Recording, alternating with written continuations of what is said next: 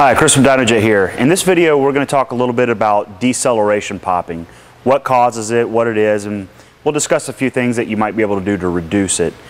Deceleration popping is commonly misconceived as a problem with the bike's air-fuel ratio. A lot of people feel that their power commander map needs an adjustment if they notice deceleration popping, and it's not always the strongest indicator that your power commander map needs adjustment. For example, most metric bikes are going to have a pair valve or a clean air injection system that is injecting fresh air into the exhaust system that promotes deceleration popping. On this 2012 R1, I've removed the fuel tank and the air box to give you a demonstration of what the pair valve is. Now deceleration popping occurs when there's unburnt fuel in the exhaust system uh, particularly on a metric bike, most metric bikes you're going to find this system here, which is a pair valve or a clean air injection system. This system is here to pump fresh air from the airbox into the exhaust ports of the cylinder heads to make the mixture in the exhaust right for ignition. So as long as this system is on the bike and active, deceleration popping would be considered normal. A lot of people might notice a lot more decel popping after fitting their bike with an aftermarket high-flowing exhaust system.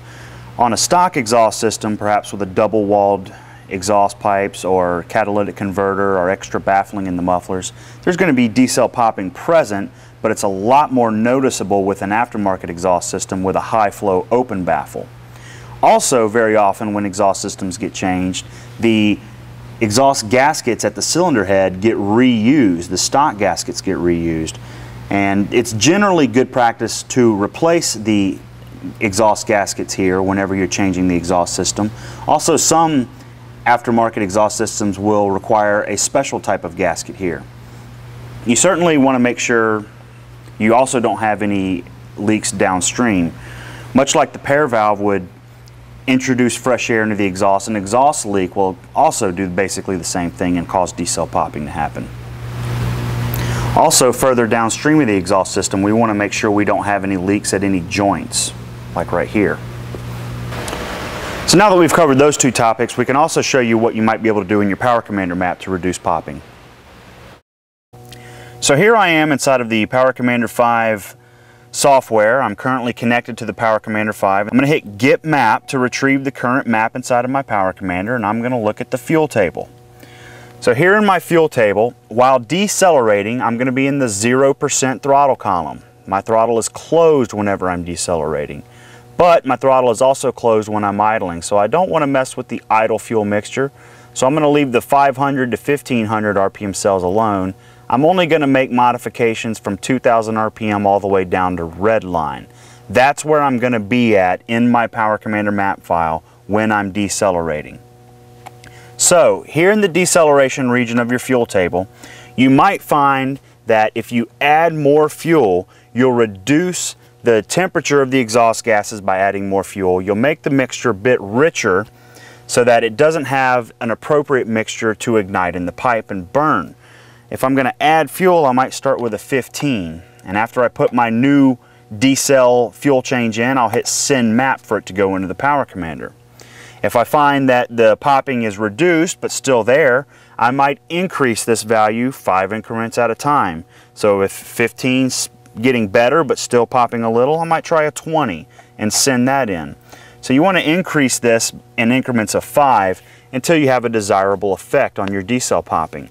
The problem being, if you go over 40 on this, you might start to notice a severe loss of fuel economy. You will be using extra fuel under deceleration to try to reduce this popping. So increasing fuel 40% or more here is going to start to be uh, uh it's, it's going to start to affect your fuel economy negatively. If we're trying to overcompensate for fresh air in the exhaust, we might try going the opposite direction we might want to try negative fuel changes here. Uh, if I'm going to subtract fuel, I might start with a minus 60. If a minus 60 helps, but you still need to go a little bit further, you can go minus 70 or minus 80, minus 90. You can go all the way to a minus 100. And basically what that will do is that will shut the fuel injectors off completely while you're decelerating. This is also a common strategy used in a lot of the stock ECUs out there. A lot of times you'll see that the bike shuts the injectors off under deceleration no matter what you do in your Power Commander map. Um, the problem with shutting the injectors off a lot of times is that when you roll back into the throttle and the injectors come back on, you might notice that the power comes back on sort of abruptly, which can be problematic for a lot of, for a lot of riders. Also, if you have a power commander that has ignition control or uh, an additional ignition module accessory added onto your power commander, you might find a desirable effect by making this modification in the same range of your ignition tables. Uh, if you increase timing um, over stock, let's say I add 5 degrees of timing in the decel range, you might spark the fuel in the engine sooner, thus allowing for a longer burn of the fuel in the engine so that less unburnt fuel is actually released into the exhaust. And that might have a desirable effect. But again, that's only capable if you have ignition control capabilities inside of your Power Commander tune. So to reiterate, decel popping can be perfectly normal in some circumstances. It's more of an annoyance than anything. Um, you certainly want to try to reduce fresh air from coming into your exhaust system as much as possible to help reduce the effect. And finally, you can make an adjustment to your Power Commander map like this to help reduce it.